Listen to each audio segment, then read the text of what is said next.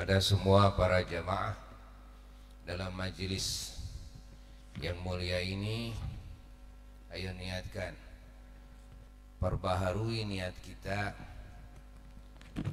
niat mengagungkan junjungan alam Rasulullah sallallahu alaihi wasallam segalanya dari azali sampai keabadiannya dan niat mengagungkan maulidnya Rasulullah sallallahu alaihi wasallam dan juga meyakini akan keagungan Rasulullah sallallahu alaihi wasallam segalanya dari keazaliannya sampai keabadiannya dan juga kelahirannya dan juga mencintai baginda Rasulullah sallallahu alaihi wasallam segalanya dan juga hadirkan kebahagiaan kita dalam hati kita dengan diciptakannya dengan dihadirkannya dengan dilahirkannya dengan diutusnya.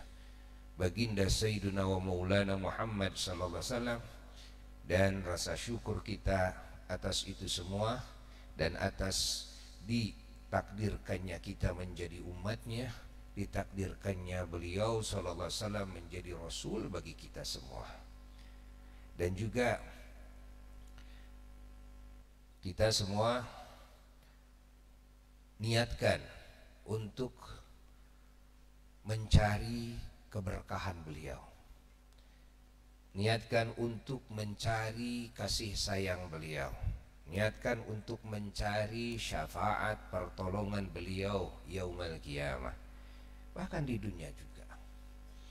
Karena beliau mensyafaati umatnya bukan cuma hari kiamat saja dari awal sampai tiada batasannya dan juga diniatkan dalam hati kita ya ingin dikabulkan seluruh doa-doa kita dengan keagungan baginda Rasulullah sallallahu alaihi wasallam dengan segalanya nabi kita.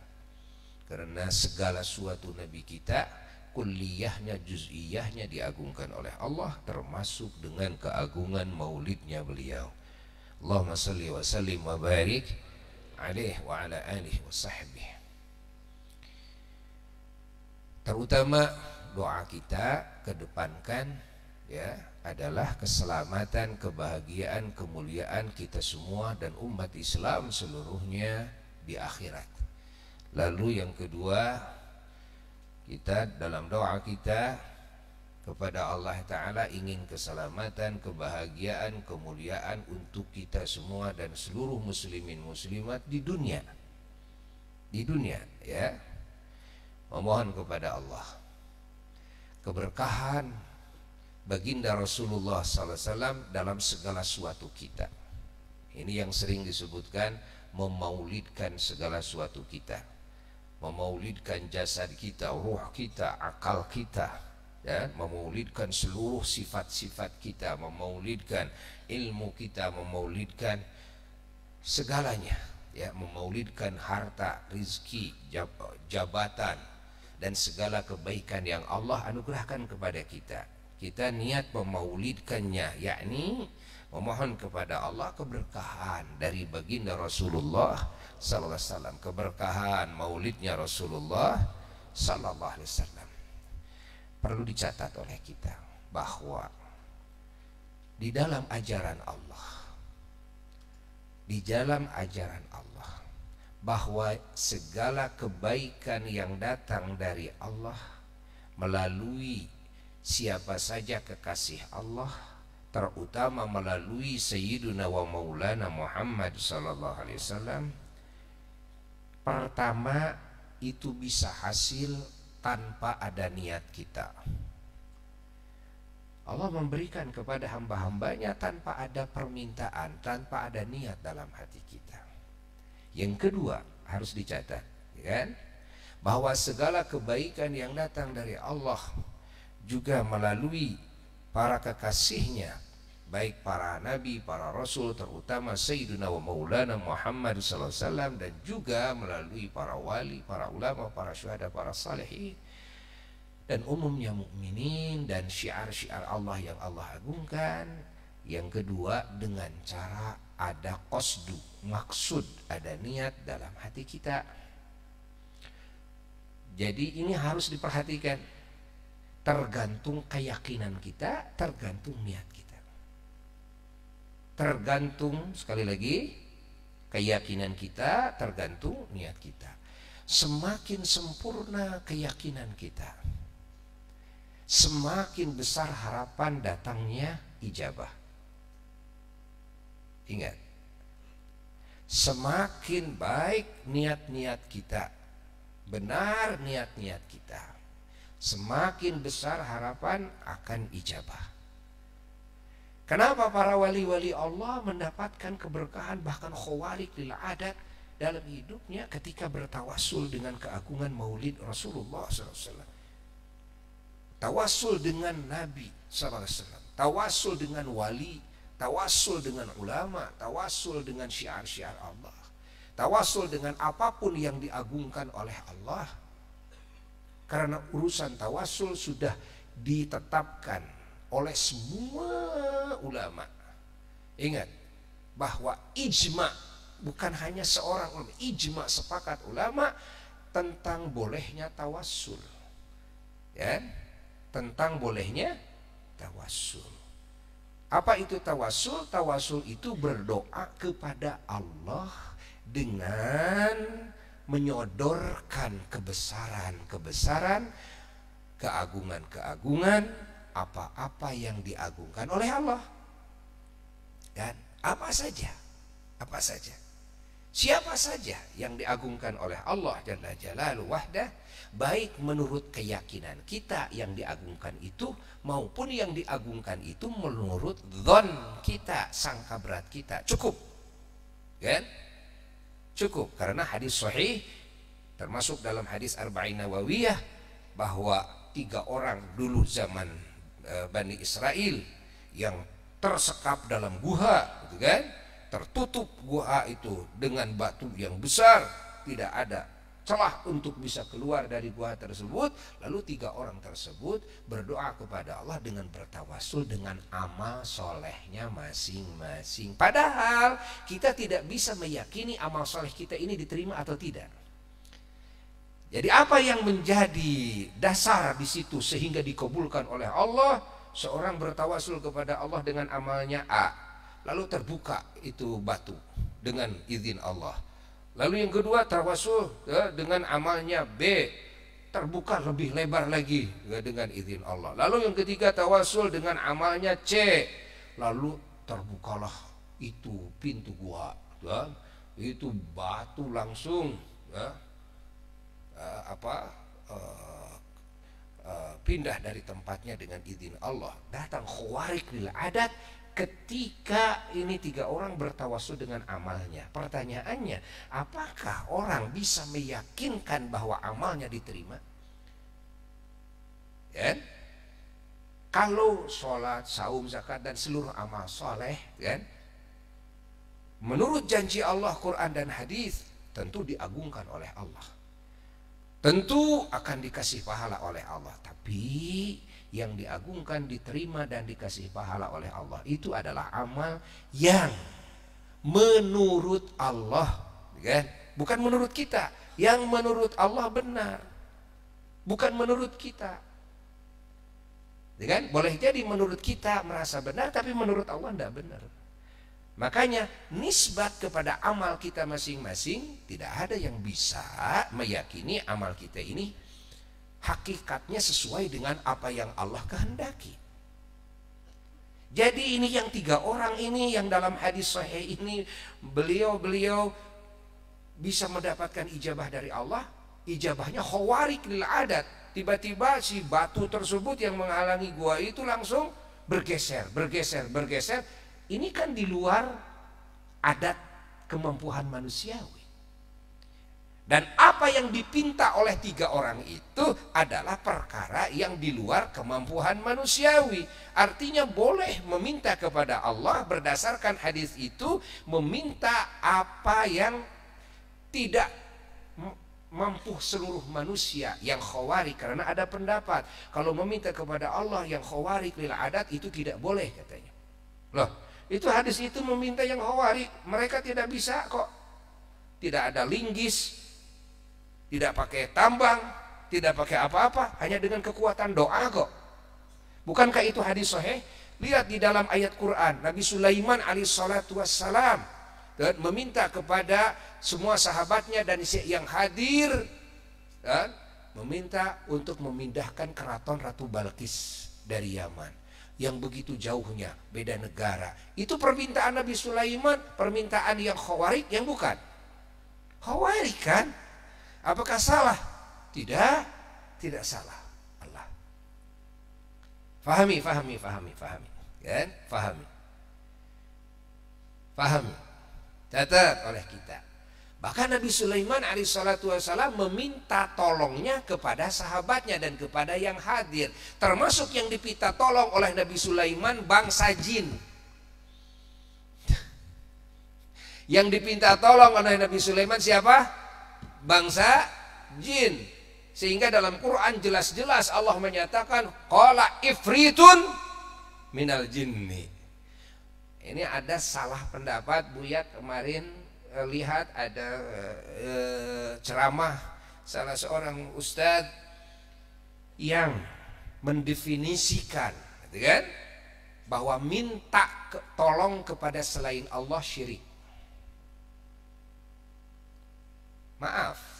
Yang menjadi syirik musyrik itu bukan minta tolong bukan mencintai bukan mengagungkan bukan.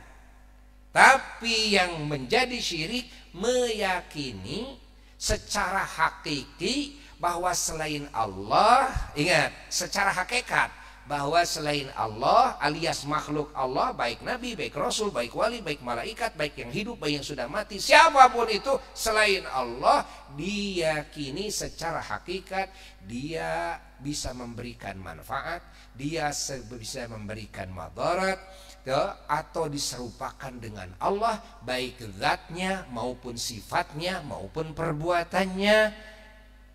Ini yang disebut syirik karena sekarang beredar pendapat-pendapat wahabi yang salah dalam mendefinisikan. Seperti mendefinisikan bid'ah dari hadis wa inna kulla bid'atin dalalah wa inna kulla muhdatsatil umuri bid'ah wa inna kulla bid'atin dolalah wa inna kulla dolalatin finnar. Ini salah mendefinisikan bid'ah akhirnya banyak orang yang tertipu dengan pemikiran ustadz-ustadz seperti itu sehingga menganggap kepada ini bid'ah bid'ah bid'ah bid'ah bid'ah karena dasarnya tidak ada contohnya dari Nabi. Padahal seluruh ulama di muka bumi ini tidak ada yang mendefinisikan seperti itu. Tidak ada karena tidak setiap yang tidak dicontohkan oleh Nabi itu bid'ah dolalah. Tidak itu salah dalam bikin definisi. Bukan hadis yang salah tapi pemahaman yang salah. Ingat.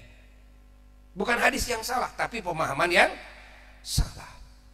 Kita mencintai Rasulullah SAW dalam hadis sahih bahwa Allah dan Rasulullah SAW harus dicintai melebihi segalanya. Allah dan Rasulnya, yakni Sayyidina Maulana Muhammad Sallallahu alaihi wa alihi wasallam. Kita tidak sempurna iman kita kepada Allah Dan kepada Rasulullah SAW Kecuali kita mencintai Allah dan Rasulnya Di peringkat yang paling pertama. Lalu setelah itu mencintai yang lainnya. Fahami? Catat.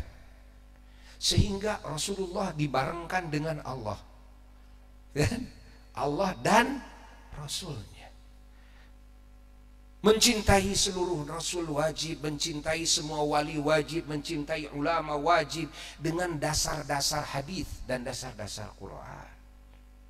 Mencintai syiar-syiar Allah wajib mengagungkan mereka wajib. Padahal mereka semua dan itu semua selain Allah alias makhluk. Mengagungkan masjid, mencintai masjid, mengagungkan Ka'bah, mencintai Ka'bah, mengagungkan tanah haram Makkah, Madinah, ha? itu wajib. Ingat. Termasuk mencintai, mengagungkan kelahiran Rasulullah wasallam. dosa yang paling besar di antaranya menganggap keagungan Rasulullah SAW itu hanya ketika diangkat menjadi Rasul baru agung. Sebelum jadi Rasul tidak agung, sehingga tidak hak, tidak perlu diagung-agung. Tidak hak dicintai kelahirannya karena waktu dilahirkan belum jadi Rasul. Ini definisi yang menyesatkan umat Islam. Ini definisi yang merugikan dan mencelakakan umat Islam. Dalam akidah umat Islam harus meyakini bahwa Rasulullah SAW itu agung segalanya dari azali sampai keabadiannya. Hatta dilahirkannya agung hingga kita tetap wajib mengagungkan segalanya. Bukan agung karena diangkat jadi Rasul. Kalau sebelum jadi Rasul tidak agung.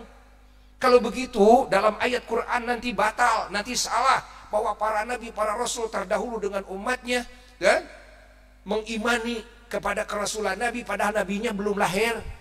Mengagungkan mencintai Nabi karena makna iman itu harus dibarengi dengan cinta dan takzim itu jadi salah. Nabinya juga belum lahir. Ingat berjanji akan menolong nabi semuanya para nabi dan umatnya yang terdahulu nabinya juga belum lahir nabinya belum lahir ingat nabinya belum lahir lalu terpampang dalam tiang-tiang keraton Allah tulisan la ilaha illallah Muhammadun Rasulullah Allah mengagungkan nama Nabi kita. Nabinya sudah lahir belum? Belum. Para Nabi juga belum diciptakan. Para Rasul belum diciptakan. Allah menciptakan arasnya. Allah. Dalam hadis-hadis lain di surga Allah subhanahu wa ta'ala menuliskan. Masya Allah. Yang menjadi kebesaran keagungan sorga di setiap dedaunan sorga di setiap kubah-kubah surga, di setiap tenda-tenda surga, di gerbang surga. Apa yang tertulis? Nama Nabi Muhammad. Di dada-dada bidadari surga, apa yang tertulis? Ini tato yang oh, memancarkan cahaya. Nama Muhammad. Allah. Allah. Kalau merayakan merayakan Nabi Muhammad SAW dianggap bid'ah dolalah khawatir nanti termasuk kepada orang yang tidak bisa berkumpul dengan orang-orang yang merayakan Nabi Muhammad SAW. Kenapa? Karena syiar syiar nanti itu syiar nanti itu selalu merayakan Nabi Muhammad. Begitu bangkit dari alam kubur, hatta seluruh Nabi ketika Sayyidina Bilal adzan ini dalam hadis sahih loh. Sayyidina bilang azan wa anna Muhammadar Rasulullah. Semua yang beriman hatta para nabinya, para rasulnya sama mengatakan asyhadu anna Muhammadar Rasulullah. Asyhadu anna Muhammadar Rasulullah. Ini merayakan Nabi. Semua berkumpul di bawah bendera Nabi, pingin dekat dengan Nabi semuanya. Ini merayakan Nabi. Ingat, hatta seluruh Nabi dan Rasul semua ingin berdekatan dengan Nabi. Iya. Ini merayakan Nabi ketika masuk sorga terpampang Muhammad di pintu-pintu gerbang surga. Ini merayakan Nabi. Ini mengagungkan Nabi. Catat. Catat oleh kita. I, aliran yang sesat kalau punya pemikiran bahwa Nabi Muhammad agungnya karena diangkat jadi rasul karena kerasulannya. Lalu pertanyaannya lagi, kalau karena kerasulannya berarti setelah wafat kerasulan sudah habis. Kalau kerasulan sudah habis karena kerasulan itu di dunia. Kalau begitu Nabi Muhammad setelah wafat tidak agung lagi. Innalillah. Ini pendapat seperti apa? Ini akidah yang ngaco. Yang menyesatkan umat Islam. Dan Buya sering menemukan sekarang karena juga sering melihat di dunia maya, ya kan? FB sering meriksa, YouTube YouTube sering meriksa. Jadi tahu, ah, tadi malah tadi. Nah, ini ini ini Ustadz salah mendefinisikan nih. Masalah mengagungkan selain Allah asal benar-benar diagungkan oleh Allah. Ingat, masalah mencintai selain Allah asal benar-benar dicintai oleh Allah. Masalah memuji-muji selain Allah yang dipuji-puji oleh Allah itu justru dibolehkan, justru dianggap ibadah.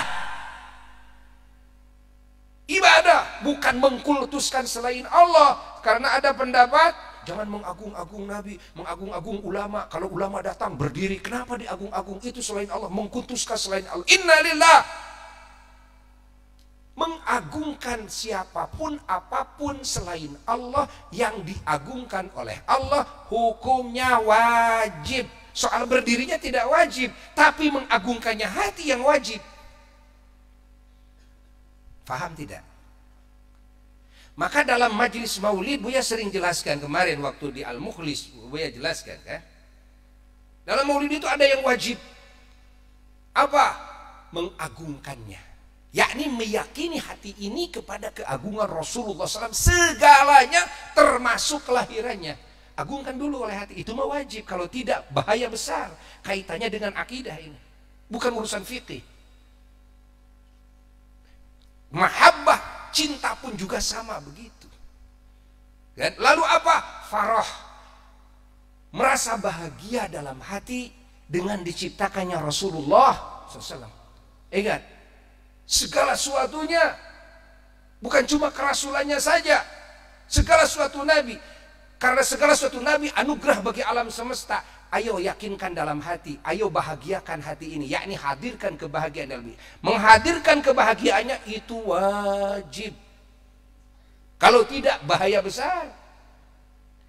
Mensyukuri karena diciptakan, dilahirkan, dihadirkan Rasulullah SAW bukan sekedar kerasulannya saja, segalanya itu wajib. Wajib, ingat. Kalau sholawat kepada Nabi, ada yang wajib, ada yang sunnah. Gitu kan? Kalau dalam sholat wajib, kalau dalam khutbah wajib, gitu kan? Tapi kalau dalam selainnya, sunnah. Tapi kalau urusan hati mengagungkannya, mencintainya, gitu kan? Kepada segala suatu Nabi itu wajib. Paham tidak? Paham tidak? Ayo fahami, fahami. Kalau urusan kita kumpul seperti ini, ini tidak wajib. Dan tapi yang diamalkan dalam majelis seperti ini ya ada yang wajibnya, ada yang sunnahnya. Yang penting jangan ada yang haramnya. Gitu kan? Memperlihatkan kebahagiaan kita dengan apa pun, yang penting asal jangan dengan yang haramnya. Asal dengan ya, asal jangan dengan yang makruh. Dengan gitu usahakan minimal yang jaiz-jaiz ya jaiz juga Silahkan, silahkan, silahkan, silahkan. Saking bahagia, terpasang lampu sana sini. Saking bahagia, apa setel petasan. Kan biasa gitu kan, mercon. Saking bahagia, itu amrun mubah, umrun jaiz, perkara yang boleh-boleh saja, tapi ini tidak jadi ibadah.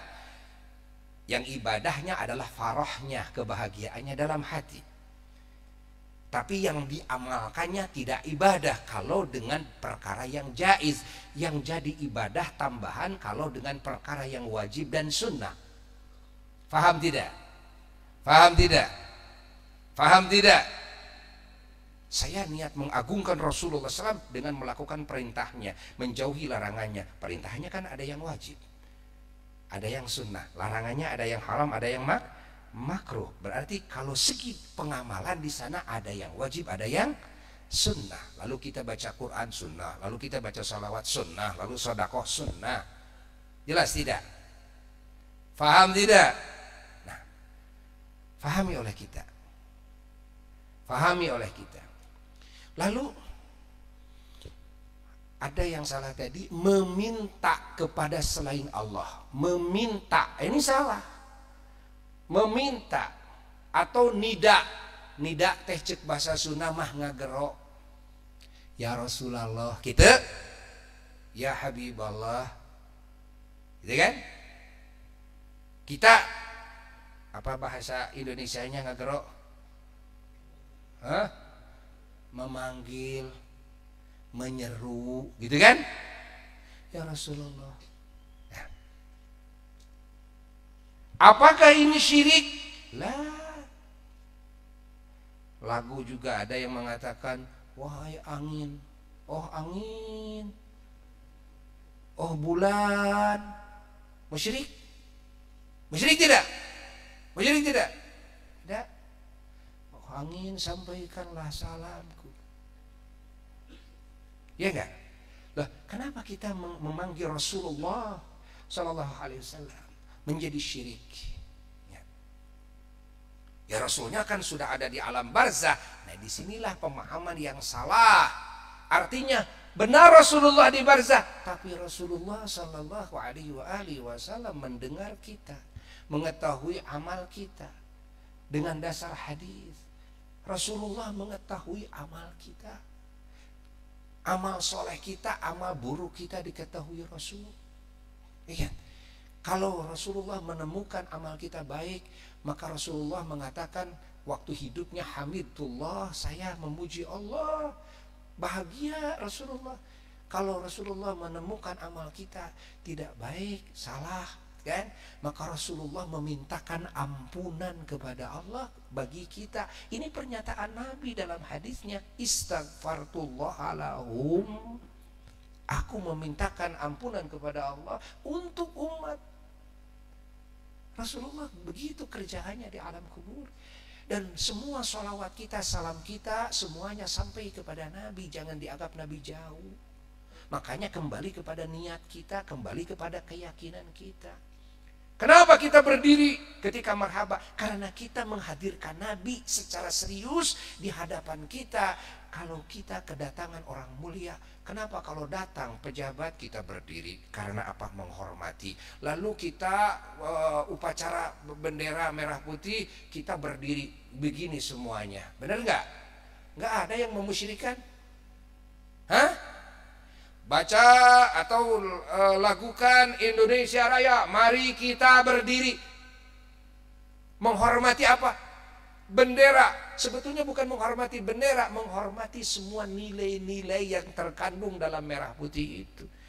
Menghormati perjuangannya para leluhur. Dan perjuangan itu adalah amalan yang agung. Yang dihormati sebetulnya itunya seperti ketika kita sudah meyakini bahwasanya keberkahan bisa nempel di apa saja. Lalu zon kita menyangka ketika kita memohon kepada Allah dan meminta keberkahan dengan bacaan Quran, dengan bacaan salawat, termasuk dengan pembacaan maulid Nabi, ya, di mana keberkahan akan nempel di air, akan nempel di apa saja, itu kan? Kalau orang dulu segala dimaulidkan, eh, agar mendapatkan keberkahan maka zon sangka. Ini sangka sangka berat. Oh ini artinya kalau dibacain ini ber berkah gitu kan? Ini berkah kita minum kan?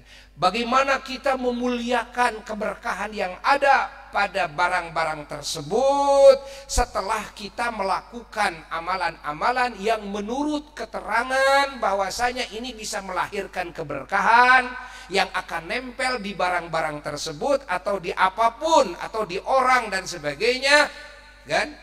Itu boleh. Itu boleh. Dasarnya zon. Dasarnya zon ini orang barokah ini orang barokah karena solehnya. Ini orang barokah karena ilmunya. Itu kan? Ini hajar aswad barokah. Ini ka'bah barokah. Ini masjid barokah. Ini ini. Nah. Kita minum baca bismillah agar barokah. Benar enggak? Baca bismillah sebelum apa pun agar agar kerja kita barokah. Mau ngomong bismillah dulu agar barokah. Mau pakai pakaian baca bismillah dulu agar barokah.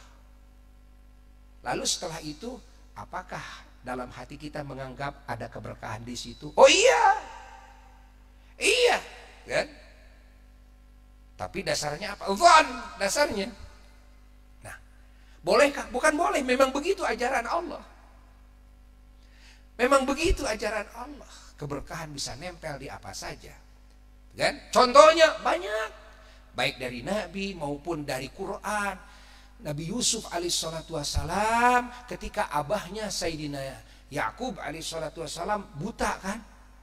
Karena kerinduan kepada Nabi Yusuf sering menangis akhirnya buta pandangannya tidak melihat Nabi Yusuf alaihissalatu wassalam di akhir-akhir cerita perjalanan hidup beliau akan dipertemukan lagi dengan ayahnya yakni Sayyidina Yakub dan dan saudara-saudara beliau apa yang dilakukan oleh Nabi Yusuf ketika datang saudara-saudaranya ke Mesir kan? Lalu membuka gamisnya. Idhabu. Bagaimana? Bi komi bi komisi kamu kepada saudaranya Nabi Yusuf. Kamu bawa ini gamisku katanya dibuka gamisnya bawa gamisku kan? Lalu kibaskan ke wajah abahku lalu Nabi Yusuf menjamin apa jaminan Nabi Yusuf yakti basiro apa Nabi Yusuf ini musyrik ya Hah? Kenapa harus capek-capek bawa gamis? Harus dikibaskan gamis itu ke wajahnya. Nabi Yakub dan Nabi Yusuf ini fatal ini musyriknya. Apa? Karena menjamin yakti basiro pasti pasti Nabi Yakub melihat. Yakti itu kan jawab, ya kan? Nabi Yusuf tidak mengatakan begini, insya Allah mudah-mudahan melihat Nabi Yakub. La, Allah Taala menyatakan dalam Quran, Nabi Yusuf berkata yati basiro, pasti pasti Nabi Yakub melihat. Lalu dibawa gamisnya, beda negara kan? Bayangkan dari Mesir ke Palestina jauh sekali sampai kepada Nabi Yakub. Gamis Nabi Yusuf ke wajahnya Nabi Yakub. Begitu dikibaskan ke wajahnya Nabi Yakub, seketika melihat Allah seketika melihat Nabi Yakub dengan barokah apa? Barokah apa? Sebetulnya bukan barokah gamis. Hakikatnya keberkahan dari Allah, namun Allah menempelkan keberkahan di hambanya, lalu dari hambanya Allah tempelkan lagi keberkahan di gamisnya. Lalu gamisnya itu ketika dikibaskan keberkahan nempel di matanya Nabi Yakub sehingga dengan keberkahan itu Nabi Yakub bisa melihat lagi. Apakah ini bukan khawarik lil adat? Jawab. Khawarik lil adat atau tidak? Khawarik lil adat. Nabi Sulaiman minta tolong kepada siapa? Yang hadir termasuk jin yang dipinta tolong. Masalah minta tolong kepada selain Allah tidak menjadikan musyrik jangan salah mendefinisikan. Karena kita juga meminta tolong kepada sesama. Hatta minta tolong kepada jin sekalipun. Nah, yang menjadi musyrik bukan itu, tapi meyakini dalam hati bahwa ini sama dengan Allah. Punya kemampuan yang sama dengan Allah. Faham tidak? Faham tidak? Fahami oleh kita. Dan definisi syirik, definisi kufur harus dibedakan. Kenapa? Ada yang tidak syirik tapi kufur. Ya kan? Setiap syirik pasti kufur.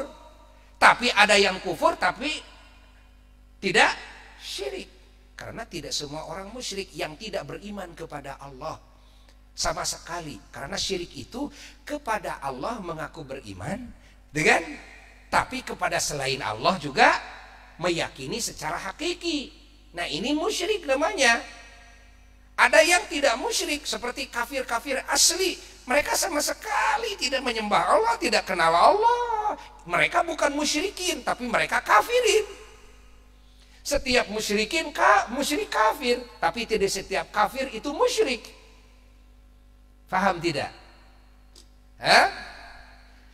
dan banyak yang mengakibatkan kufur. Banyak yang mengakibatkan kufur. Amalan-amalan yang mengakibat kufur. Jangan disamakan syirik dengan kufur. Syirik-syirik, kufur-kufur. Masalah meminta kesalahan Allah. Nanti Nabi Sulaiman bisa syirik karena minta tolong kepada jin. Sehingga jin ngacung. Ha? Ana atika bihi qabla ha?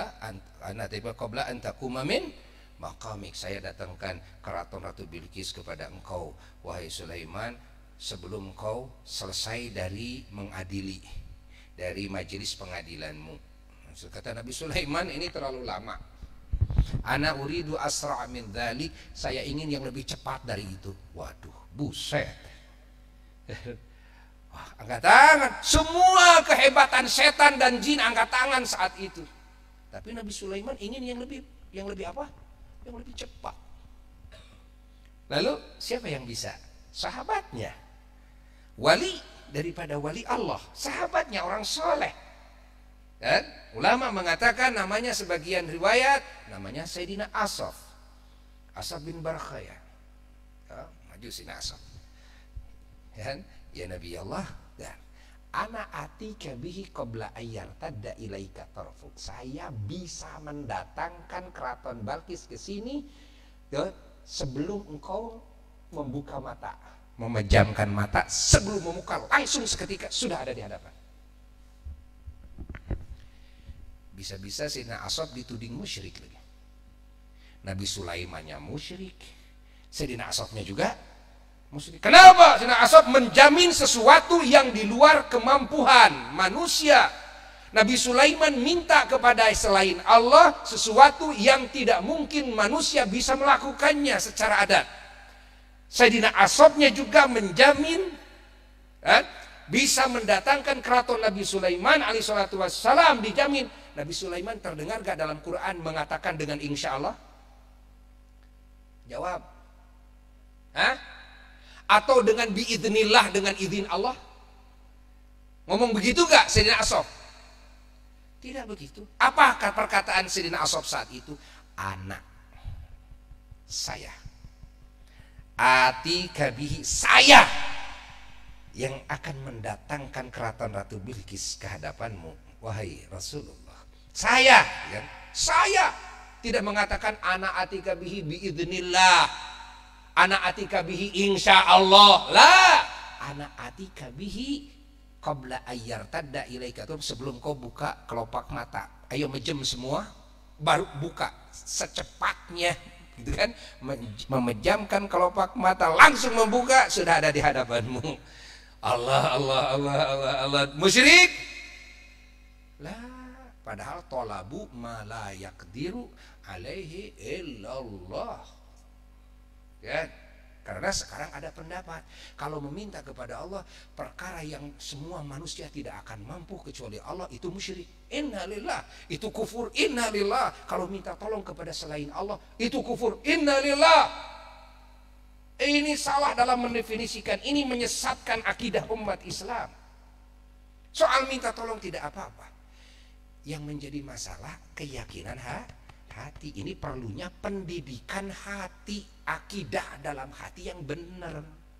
Sudah dididik yang benar, Allah hakikat, selain Allah adalah sebab, sudah wis, monggo. Monggo kamu minta tolong sama siapa? Dok, tolong dok, nggak musyrik. Ya wali Allah kepada wali yang sudah wafat. Ya wali Allah, itu kan? Kami minta tolong ya wali Allah, itu kan? Tidak musyrik. Ya Nabi Allah, kan? Adrikni, kan? Isfa lana tolonglah saya ya Rasulullah. Minta tolong dari sekarang kepada Rasulullah. Rasulullah sudah wafat, tidak musyrik. Dan nanti pun pada hari kiamat rame-rame semua orang mengharapkan pertolongan Rasulullah. Datang kepada para rasul pada Nabi Adam, kepada Nabi Nuh, kepada Nabi Musa, kepada Nabi uh, Ibrahim, kepada Nabi Isa, kepada Rasulullah sallallahu alaihi wasallam. Ingat. Dan ingat, Pernahkah kalian menemukan hadis tersebut? Ini hadis soheh dan mutawatir tentang hadis syafaat. Lalu mereka datang kepada para rasul minta tolong. Minta tolong untuk semua makhluk pada saat itu. Yang meminta tolongnya sudah ahli akhirat, yang dipinta tolongnya sudah ahli akhirat. Ya? Sekarang mendefinisikannya salah. Kalau minta tolong kepada yang hidup boleh katanya. Kalau meminta tolong kepada yang sudah mati, syirik katanya. Innalillah. Kalau begitu kamu musyrik.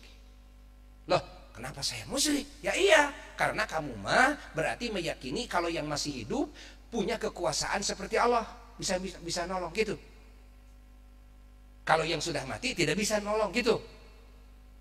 Berarti kamu yang musyrik. Kalau kami mah bukan begitu, ahli sunnah wal jamaah mah selain Allah tidak bisa memberi manfaat, tidak bisa memberi madarat yang hidup, yang mati di dunia, di akhirat, di alam mana pun, nggak ada. Kecuali Allah sebagai hakikat. Adapun manfaat dan madarat yang ada pada diri makhluk semuanya oleh Allah. Semuanya pemberian Allah, semuanya dikondisikan oleh Allah, dibuat oleh Allah. Sehingga kami meyakini selain Allah hanyalah sebab dan kami meminta tolong kepada selain Allah hanyalah tawasul, hanyalah tasabub dan kami tidak meyakini itu hakikat. Dan sama bagi kami ahli sunnah wal jamaah kepada yang hidup kepada yang mati sama. Saya sering minta tolong kepada orang-orang kafir. Kan? Apakah ini menjadi musyrik? Lah. Kan? Sehingga banyak para ulama-ulama dulu yang punya muridnya jin para wali muridnya jin kan? Banyak. Termasuk leluhur Buya di sini Syekhuna Khalil Bangkalan Madura. Kalau musim panen padi panen raya itu karena santri sedang sibuk ngaji kan?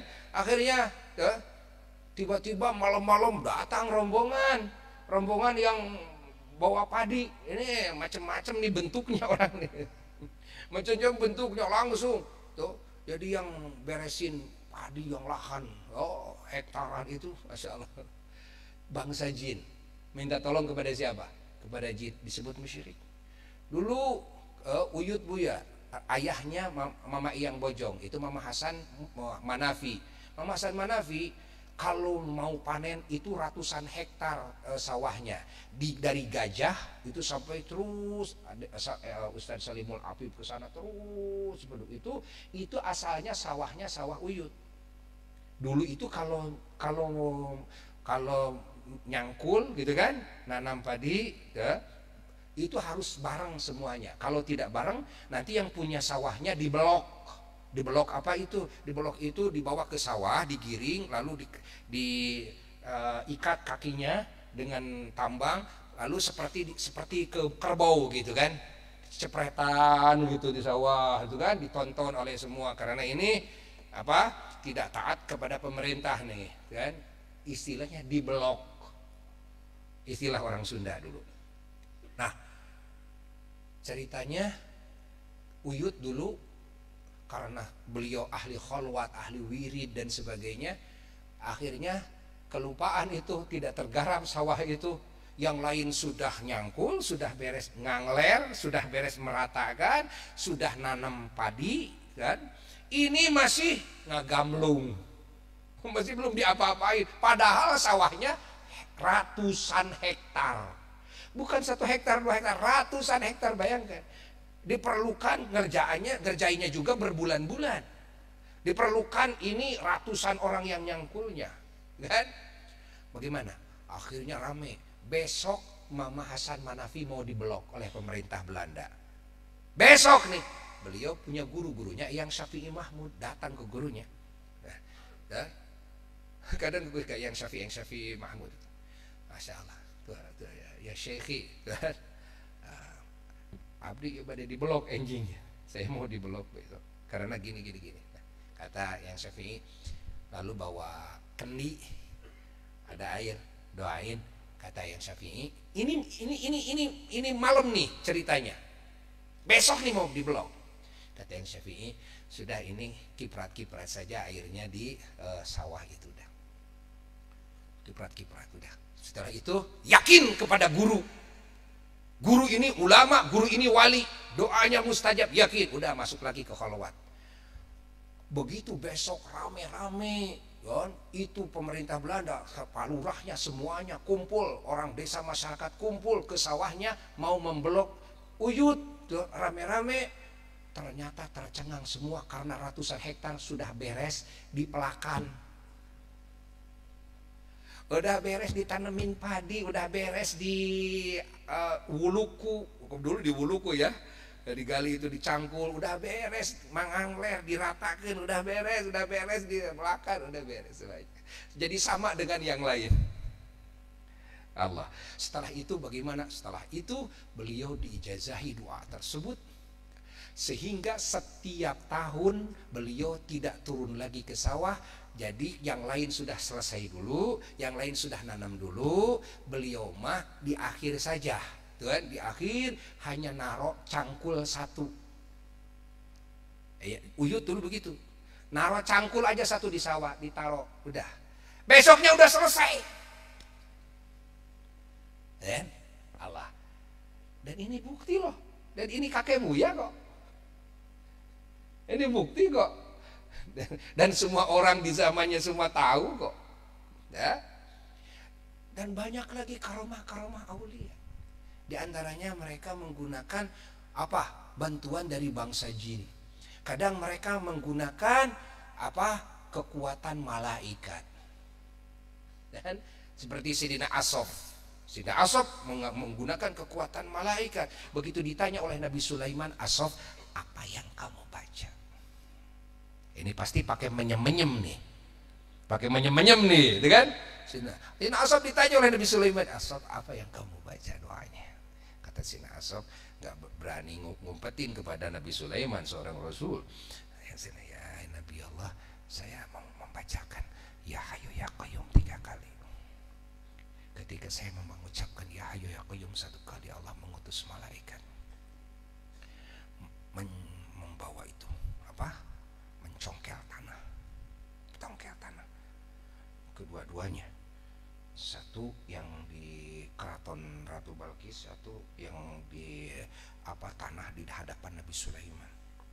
Sesuai ukurannya. Begitu saya mengucapkan ya ya koyong kan? Yang kedua yang yang kedua kali kan? Yang satu kali turun malaikat yang kedua kali congkel yang tiga kali dipindahin langsung ya kelihatan oh ya hayu ya koyong coba ya hayu ya koyong kita mau mindahin utang Orang punya utang sama kita, itu kan? Kadang-kadang dia punya duit tuh, itu kan? Tapi susah terus kalau kita tagih, ya pindahin aja lah uangnya ke kita, itu kan? Ayo aku yuk satu juta kali nggak jadi-jadi. Datangkan duit, ya ayo aku yuk nggak jadi-jadi. Kan? apakah beda ya hayu ya koyumnya? Enggak, ya hayu koyumnya sama. Cuma beda orangnya. Bukan beda orangnya sebetulnya hubungan orangnya yang beda kepada Tuhannya. Paham tidak? Jelas? Jadi bukan masalah dalam mencintai mengagungkan atau meminta tolong.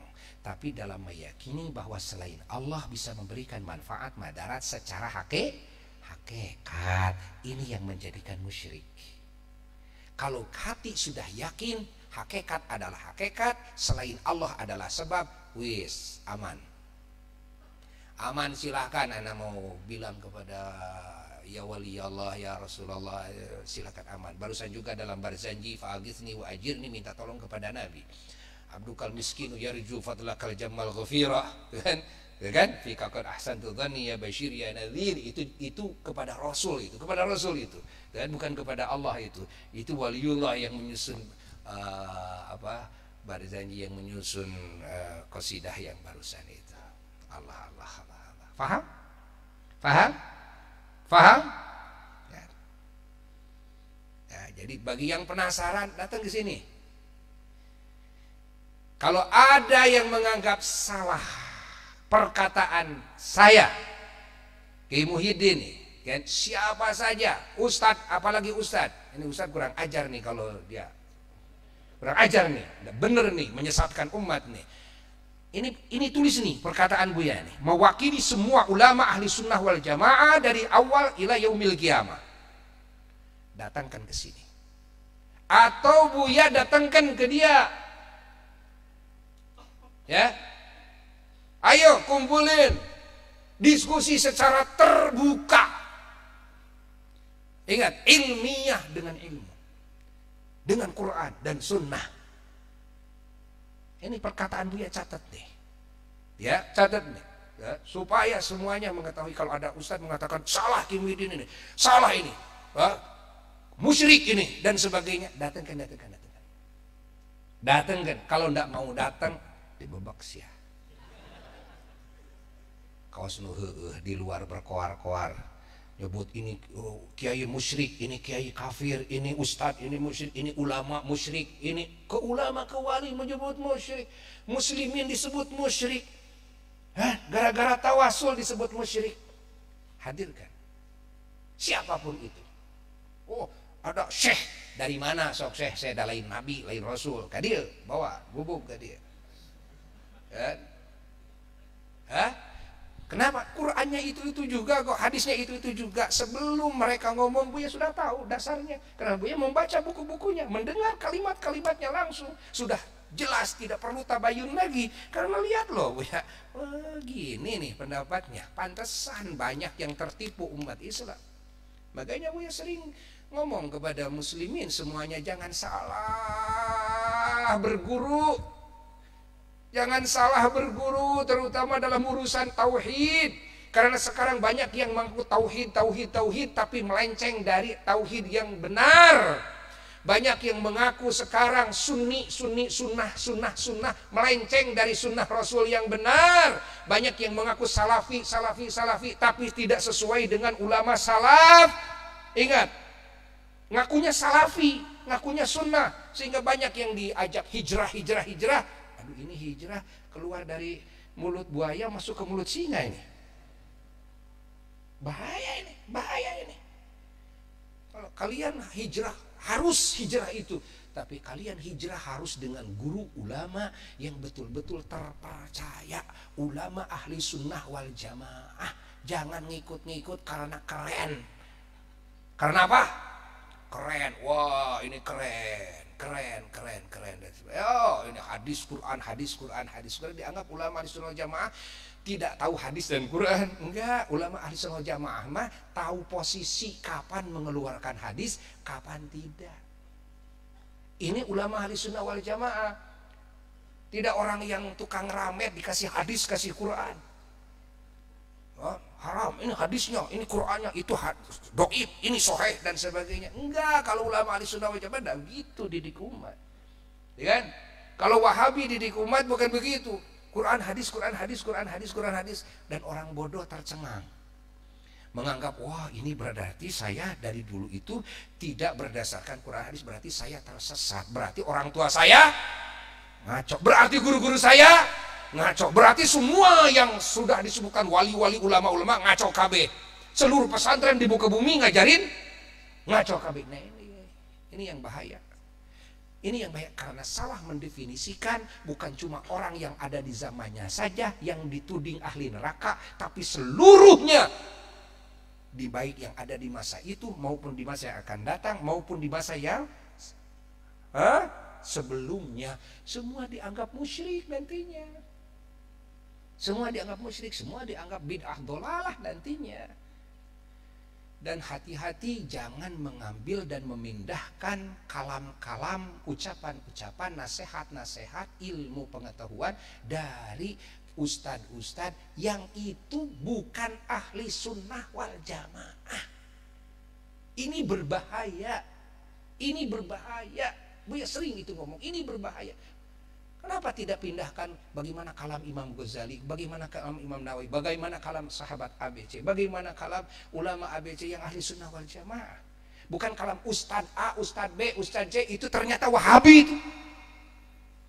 Ada lagi Ustadznya Ustadz Syiah itu. Ini bahaya besar, bahaya besar. Kenapa? Karena banyak sekarang umat Islam bergurunya kepada Bah Google. Bergurunya kepada Ustadz Yahoo banyak gitu bergurunya ke sana, gitu kan? Gurulah, bergurulah kepada ulama yang nyata, yang bisa dipertanggungjawabkan. Kalau kepada Google siapa yang bisa bertanggung jawab? Ayo hadirkan tuh yang di Google. Ya bisa. Kalau kepada yang nyata, Ki nih mengajarkan kesesatan kepada umat dan hadirkan saya. Di mana, kapan hadirkan saya? Mau dengan ulama Indonesia, mau dengan ulama Arab, mau dengan ulama mana hadirkan saya. Qurannya itu juga, hadisnya itu juga sama kok. Dan akidah sunnah sudah jelas di muka bumi laksana matahari. Kan? Laksana matahari. Saya berani mengatakan Wahabi itu sesat. Kenapa? Karena sudah tabayun dulu, karena sudah melihat referensi-referensi dari mereka, karena sudah mendengar langsung dari mereka, oh ini bahaya, ini bahaya. Maka sehingga wajib salah seorang daripada ulama yang terus memberitahu kepada umat tentang mana yang benar, mana yang salah. Mengklarifikasi, ingat, memutihkan akidah, memutihkan pemikiran, memutihkan manhaj dan pemahaman. Kalau dibilang salafi, salaf itu sahabat, tabiin, tabi tabiin, sudah jelas loh kitabnya, sudah jelas loh pemahamannya, sudah jelas loh manhaj manhajnya, sudah jelas akidahnya. Tinggal merujuk. Berbicara dalam fikih, lihat mujtahid mujtahid mutlak, sudah jelas loh. Ya? Dalam masalah apa? Agama itu sudah jelas. Jangan ngaku-ngaku salafi tapi nipu umat, salafi dijadikan kedok. Akhirnya yang salafi-salafi jadi goyang. Kenapa? Karena Salafi-salafi dituding sama dengan itu. Dengan kan seluruh pesantren di mana-mana as-salafi kan. Datang sekarang Wahabi ngaku salafi, padahal ukur jadi kedok ungkul. Nipu salafi. Dan datang sekarang Wahabi kan mengikuti tauhid, tauhid, tauhid. Eh, tapi sesungguhnya sudah melenceng dari tauhid yang hak. Bahkan mereka menganggap sesat, salah kepada Imam Ash'ari dianggap salah. Bayangkan Imam Ash'ari dan semua muslimin dan ulama aulia sama akidahnya dengan Imam Ash'ari dianggap sesat akidahnya. Bayangkan oleh kita, bayangkan, bayangkan. Nah, perlu diungkap secara terbuka, perlu diungkap secara terbuka. Harus ada salah seorang yang berani ke depan. Insya Allah, Buya salah satunya yang siap maju ke depan. Ya, Paham? Demi meyakinkan akidah umat Islam. Demi meyakinkan menenangkan hati umat Islam. Kenapa? Karena berbahaya ketika dia menganggap yang tawasul musyrik, yang musyrik itu dianggap halal darahnya. Kalau mereka punya kekuasaan di parlemen, kalau mereka punya kekuasaan di negara, pemerintahan, bisa-bisa disembelih semuanya. Seperti yang terjadi di Mekah dulu, di Arab dulu, ketika jaya-jayanya kaum Wahabi, berapa ratus ulama ahli sunnah wal jamaah yang disembelih karena apa? Karena dianggap syirik, syirik, syirik, syirik. Ya, paham ya oleh kita. Hati-hati, jangan dikasih kursi. Kalau kita milih partai, ingat ini partai ini di dalamnya ada wahabinya, banyak wahabinya. Walau bahaya ini, jangan didukung. Oh ini Islam. Islam yang mana yang harus kalian dukung? Oh ini para ustadz di dalamnya. Ustadz yang mana yang harus kalian dukung? Ya kan? Pahami, pahami, pahami. Kalau memang ini benar ulama-ulama ahli sunnah wal jamaah benar, lalu ada banyak di partai tersebut, silakan dukung, tidak masalah. Tapi ini ini ustad-ustad yang memang ustad-ustad ini wahabi ini di dalamnya, jangan didukung, hatta partainya jangan didukung bahaya. Alhamdulillah sudah dibubarkan Hizbut Tahrir karena di dalamnya banyak Wahabi. Alhamdulillah, hati-hati. Hati-hati. Nah, maka Buya juga sering ngasih masukan ke pemerintah, saling masing masukan ke pihak jajaran kepolisian dan TNI. Kenapa? Karena ini bisa menghancurkan kerukunan kerukunan antar umat beragama, keruntunan kerukunan di dalam kan umat beragama ini bahaya, bisa perang, bisa tempur yang terjadi di Yaman itu, yang terjadi di Syria itu, yang terjadi dulu di mana lagi? Di Mesir itu, itu Wahabi. Makanya sekarang ulama, ulama besar yang kaliber internasional, yang kaliber wah ulama besar di mana-mana berbicara hatta Syekhul Azhar. Grand Sheikh berbicara tentang masalah Wahabi sekarang terus. Kenapa? Karena Wahabi memaksakan diri ingin menonjolkan ke depan. Termasuk sekarang ada yang sebut-sebut Albani, Albani, Albani. Sengaja Albani didagangkan ke publik. Padahal Albani ini siapa? Bukan muhadis, bukan ahli hadis. Kok tiba-tiba dimunculkan sebagai pentasih hadis? Apa tidak cukup dengan pentasih hadis para ahli hadis yang sudah jelas-jelas? Siapa Albani? Kentongnya Wahabi. Albani kentongnya Wahabi. Faham? Alham, Alhamdulillah. Ayo hadirkan ya semuanya kita baca doa bersama-sama, doa maulid bersama-sama. Semoga dikabul oleh Allah. Uh, Bu Yamato, pusaka-pusaka dimulutkan. Ini duit dimulutkan. Ingin barokah ini. Buat modal dagang, buat modal usaha, kan? Hmm. So, siap ke naon boga dompet boga naon.